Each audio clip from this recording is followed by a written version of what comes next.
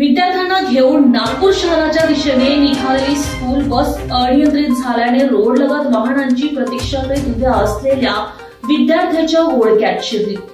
त्यामुळे एक विद्यार्थी बसला अडकला व थोडा दूर खासत गेला. दोघे बसच्या खाली येत दोन्ही चाकांच्या मधून बाहेर आल्यानं थोडक्यात बचावले गेले.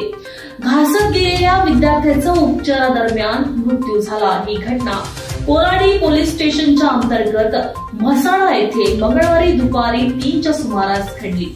सम्यक दिनेश कळंबे वय चौदा वर्ष राहणार बाराखोली इंदोरा नागपूर असं मृत विद्यार्थ्याचं नाव आहे.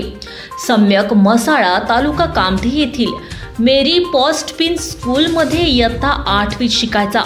दुपारी अडीच वाजताच्या सुमारास शाळा सुटल्यानंतर तो त्याच्या मित्रासोबत रोड लगत ऑटोची प्रतीक्षा करीत उभा होता. काही वेळाने त्याच्या शाळेची एम एच चाळीस एटी शून्य चार आठ सात क्रमांकाची स्कूल बस विद्यार्थ्यांना घेऊन आली. काही काढण्याच्या आतच ती बस अनियंत्रित झाली आणि समोर असलेल्या कारला धडक देत रोड लगत उभ्या असलेल्या विद्यार्थ्याच्या घोडक्यात शिरली. यात सम्यक बसला अडकला तर दोघे विद्यार्थी बसच्या खाली आले. मात्र ते दोन्ही चाकांच्या मध्ये आल्यानं त्यांना दुखापत झाली नाही. सम्यक बस सोबत काही दूर खासत गेल्यानं गंभीर जखमी झाला.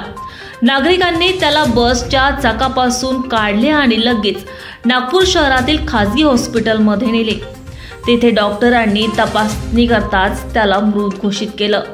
अंबादास रामटेके राहणार शांतीनगर नागपूर असं. स्कूल बस चालकाचं नाव आहे. बस आपल्या दिशेने येत असल्याचं लक्षात येताच त्यांनी पळ काढला. त्यातच ती बस खांबावर आदळली. खांब वाकल्यानं विजेचा तारही तुटला होता. अपघात होताच घटनास्थळी नागरिकांची एकच गर्दी जमली. महाराष्ट्रातील ताज्या बातम्या शेअर करा सबस्क्राईब करा आणि हां बेल आयकॉन प्रेस करा.